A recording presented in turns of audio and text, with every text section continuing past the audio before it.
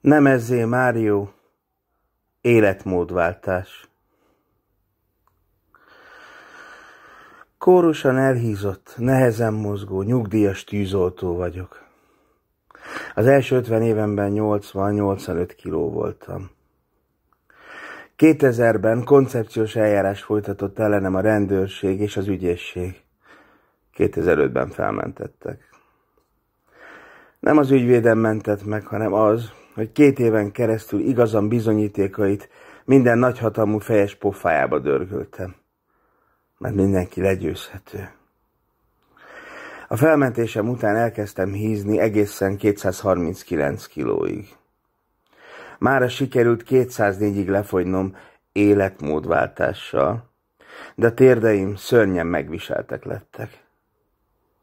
A bankár maffia felgyújtotta a családi házam. Mondhatni, elég zavaros ma az életem. De a harc nem áll meg. A túlélés azt jelenti, hogy túléljük saját halálunkat. 200 kilómmal csendben várakozom a város egyik külső kerületében, mert tudom, a tömeg nem vészel, csak gyalázattá alakul. Azért nem megyek tüntetésre, mert sem időm, sem fizikai erőm nincs. De mindent megteszek, amire képes vagyok.